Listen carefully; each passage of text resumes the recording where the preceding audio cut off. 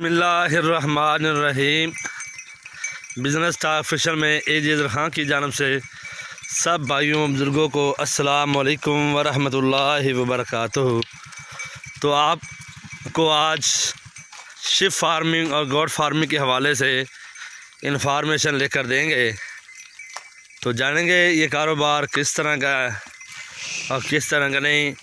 आया कि ये घर में बकरियाँ रखकर फार्म बनाकर या फिर बहर के चरे पर ही बकरियों का कारोबार किया जाता है।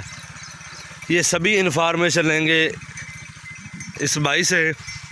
तो उससे पहले मैं एक ही गुजारिश करूँगा, जो दोस्त अब आप नए आए मेरे चैनल पर, उनसे रिक्वेस्ट करता हूँ वो मेरे चैनल को सब्सक्राइब कर लें और साथ साथ बेल आइकन को भी दबा दें, ताकि हमारी जब भी नई वीडियो आए, वो आप तक नोटिफिकेशन के ज़रिए पहुँच सके।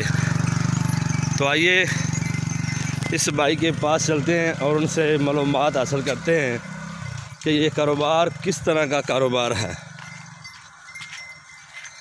अलकुम अंकल जी की हाल है जरा खोल के बोलिया जी सब तो पहले आपका नाम दसा जी अंकल जी ਬਾਦਲ ਜੀ ਅੱਛਾ ਇਹ ਕਿਹੜਾ ਪਿੰਡ ਹੈ ਜੀ ਜਿਹੜਾ ਜਿੱਥੇ ਆਪਾਂ ਖੜੇ ਆ ਇਸ ਟਾਈਮ ਲੱਖੂ ਮਲਕਾ ਲੱਖੂ ਮਲਕਾਣਾ ਅੱਛਾ ਤੇ ਤਹਿਸੀਲੋ ਜ਼ਿਲ੍ਹਾ ਕਿਹੜਾ? ਅੱਗੇ ਪੁੱਤਰ ਤਹਿਸੀਲ ਦੀਪਾਲ ਜ਼ਿਲ੍ਹਾ ਉਕਾੜਾ ਅੱਗੇ ਪੁੱਤਰ ਅੱਗੇ ਮੋੜ ਠੱਲ ਅੱਛਾ ਅੱਛਾ। ਅੱਛਾ ਅੰਕਲ ਜੀ ਤੁਸੀਂ ਇਹ ਭੇਡਾਂ ਦਾ ਬੱਕਰੀਆਂ ਕਾਰੋਬਾਰ ਕਰਦੇ ਹੋ ਕਿੰਨੀ ਅਰਸਾ ਹੋ ਗਿਆ ਤੁਹਾਨੂੰ? 10 ਸਾਲ 9-10 ਸਾਲ। ਇਹਨਾਂ 9-10 ਸਾਲਾਂ 'ਚ ਤੁਸੀਂ ਕੀ ਕੀ ਕੀ ਮੁਸ਼ਕਲਾਂ ਵੇਖੀਆਂ ਨੇ?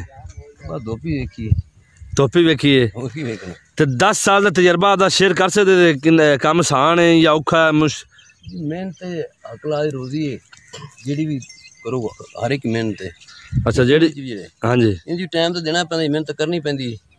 ਅੱਛਾ ਬਿਲਕੁਲ ਜੀ ਸਹੀ। ਹਾਂ, ਜਦੋਂ ਅੰਕਲ ਜੀ ਤੁਸੀਂ ਇਹ ਕੰਮ ਸ਼ੁਰੂ ਕੀਤਾ ਸੀ ਉਸ ਟਾਈਮ ਤੁਹਾਡੇ ਕੋਲ ਕਿੰਨੀਆਂ ਭੇਡਾਂ ਤੇ ਬੱਕਰੀਆਂ ਹਾਂ? ਤਿੰਨ ਚਾਰ ਹੈਗੀਆਂ। ਤਿੰਨ ਚਾਰ ਤੋਂ। ਪੁੱਤਰ ਲੱਗਦਾ ਭੇੜ ਹੈ। ਤਿੰਨ ਚਾਰ ਭੇਡਾਂ ਤੋਂ ਆਹ ਕੰਮ ਸ਼ੁਰੂ ਕੀਤਾ। ਉਸ ਦੌਰ 10 ਸਾਲ ਪਹਿਲੇ ਤੁਸੀਂ ਇੱਕ ਕਿੰਨੇ ਦੀ ਇੱਕ ਭੇਡ ਲਈ ਸੀ?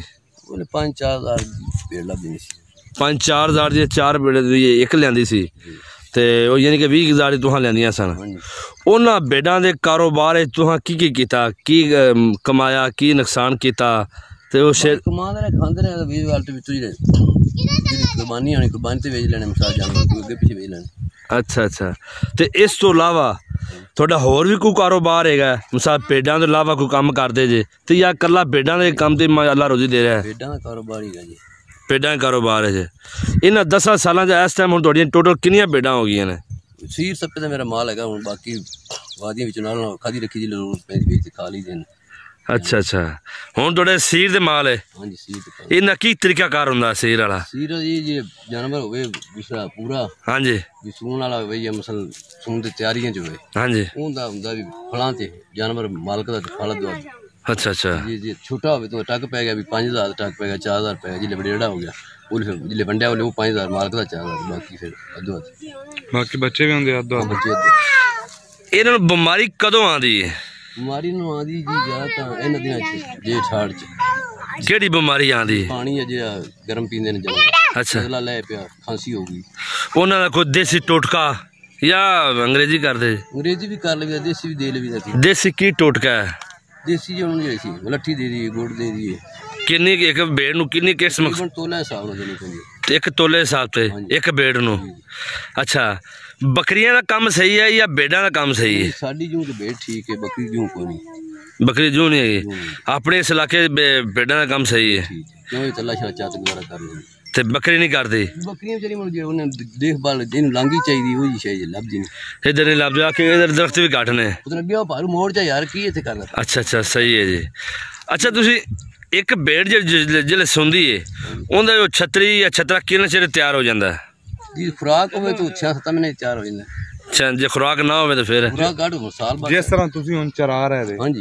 ਇਹ ਹਿਸਾਬ ਨਾਲ ਕਿੰਨੀ ਦੇਰ ਤਿਆਰ ਹੋ ਜਾਂਦੀ ਸ਼ੁਰੂਆਤ ਸਾਲ ਤੱਕ ਬੱਚਾ ਤਿਆਰ ਹੋ ਜਾਂਦਾ ਉਹ ਅੱਗੋਂ ਬੱਚਾ ਦੇ ਅੱਗੋਂ ਦਿੰਦੀ ਬੱਚਾ ਦੇਂਦਾ ਜਾਂ ਨਾ ਰਹੇ ਤਾਂ ਵਿਕ ਜਾਂਦਾ ਤੇ ਤਿਆਰ ਕਿੰਨੇ ਦੇ ਮਹੀਨੇ ਬਾਅਦ ਇਹ ਬੱਚਾ ਦਿੰਦੀ ਹੈ 6 ਮਹੀਨੇ ਬਾਅਦ।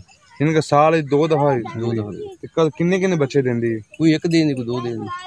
ਅੱਛਾ ਇਹਨਾਂ ਦੇ ਪੇਡਾਂ ਵਿੱਚੋਂ ਕੋਈ ਦੁੱਧ ਵੀ ਦਿੰਦੀ ਕੋਈ ਨਹੀਂ? ਕੋਈ ਨਹੀਂ ਦੁੱਧ ਫੜਾ ਹੀ ਚੁੱਕ ਦਿੰਦੇ ਜਿਹੜੀ ਨਹੀਂ ਬੱਕਰੀਆਂ ਦਾ ਦੁੱਧ ਹੁੰਦਾ ਹੈ। ਤੇ ਭੇਡਾਂ ਦਾ ਵੀ ਦੁੱਧ ਨਹੀਂ ਚੋਂਦੇ ਤੇ? ਨਹੀਂ ਕੋਈ ਨਹੀਂ ਚੋਇਆ ਕਦੀ ਨਹੀਂ ਨਹੀਂ ਕੁਝ ਐਸੇ ਇਲਾਕੇ ਨੇ ਜਿੱਧਰ ਉਹ ਭੇਡਾਂ ਦੇ ਦੁੱਧ ਵਿੱਚੋਂ ਤੇ ਜ਼ਿਆਦਾ ਗੁਜ਼ਾਰਾ ਕਰ ਰਹੇ ਨੇ। ਚੱਲ ਰਹੇ ਰੋਕ ਕਰ ਰਹੇ ਹਾਂ, ਪਰ ਅਸੀਂ ਕੋਈ ਨਹੀਂ ਅਸੀਂ ਤੇ ਜਿਹੜਾ ਤੁਸੀਂ ਪ- ਬੱਚਿਆਂ ਨੂੰ ਯਾਨੀ ਕਿ ਪਰ ਉਹ ਬੱਚੇ ਨੇ ਭਾਰਵਾਂ ਨੂੰ ਪਿਆਰੇ ਨੇ। ਇੱਕ ਛਤਰਾ ਕਿੰਨੀ ਦੇਰ ਤਿਆਰ ਹੋ ਜਾਂਦਾ? ਬਿਲਕੁਲ। ਸਾਰੇ ਕੁਰਬਾਨੀ ਵਾਸਤੇ ਫੁੱਲ ਤਿਆਰ ਹੋ ਜਾਂਦਾ।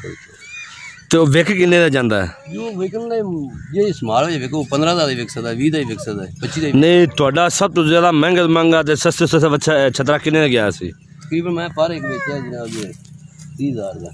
ਚੀਜ਼ 18 ਦਾ 20 ਦਾ ਇੱਥੇ ਵਿਕ ਰਿਹਾ ਅੱਛਾ 20 ਕਿਲੋ ਦਾ ਜਿਹੜਾ ਛਤਰਾ ਹੁੰਦਾ ਉਹ ਕਿੰਨੇ ਕੁ ਦਾ ਮਿਲ ਜਾਂਦਾ? ਹੈ? ਇਹ ਤਾਂ ਮਤਲਬ ਕਿ 20 ਕਿਲੋ ਵਜ਼ਨ ਹੁੰਦਾ ਉਹ ਛਤਰੇ ਦਾ। ਛਤਰੇ ਦਾ। ਕਿੰਨੇ ਕੁ ਦਾ ਮਿਲ ਹਿਸਾਬ ਨਾਲ ਤੁਹਾਡਾ ਹੋਵੇਗਾ ਕੀਮਤ ਕਿੰਨੀ ਕੁ ਮੈਨੂੰ ਇਹਨਾਂ ਲੰਮਾ ਜਿਆਦਾ ਨਹੀਂ ਪਤਾ ਨਾਮ ਹੈ ਇਸ ਦੇ ਵਪਾਰੀ ਹਾਂ ਮੈਂ ਕਾਰੋਬਾਰੀ ਹਾਂ। ਨਹੀਂ ਵੈਸੇ ਤੁਹਾਡੇ ਕੋਲ ਅਗਰ ਤੁਹਾਡੇ ਕੋਲ ਅਹ, ਛਤਰੇ ਰੇਟ ਪੁੱਛਦੀ ਮੰਨ ਦਾ ਹੋਵੇ ਜਾਂ ਵਜ਼ਨ ਹੋਵੇ